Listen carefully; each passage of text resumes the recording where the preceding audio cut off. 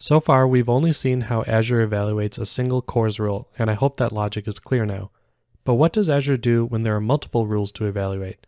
Here are three rules we've defined in this scenario. Let's walk through the first request example and see how Azure would evaluate the rules.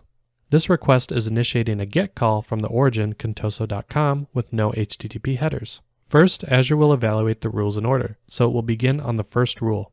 For rule evaluation, Azure will first check to see if the incoming origin is in the allowed origins list. It is, so that check will pass.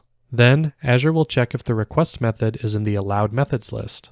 This check passes too. Finally, it will check the allowed headers list, and since there are none specified using a wildcard, that check is satisfied. Now, Azure will stop evaluating the rules since the rules conditions have passed this request will be allowed through. Let's now look at a different request.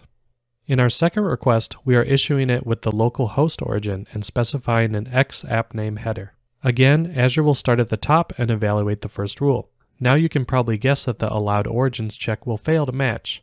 Azure will no longer evaluate the other properties in this rule now. Instead of failing the request though, like in our single rule demos, Azure will move on to evaluate the second rule. This time, Azure successfully matches the origin and the allowed method.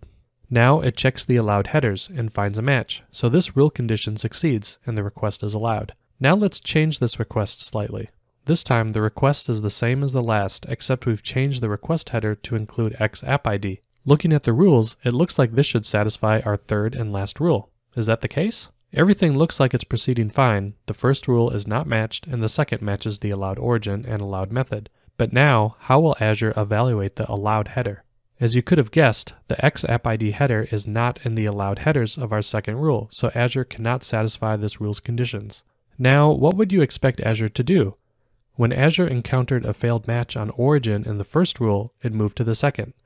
If you expected Azure to move to the third rule now, you actually might be surprised to hear it'll fail this request now. Why? Because Azure will stop evaluating any subsequent rules once it finds a successful origin and method match.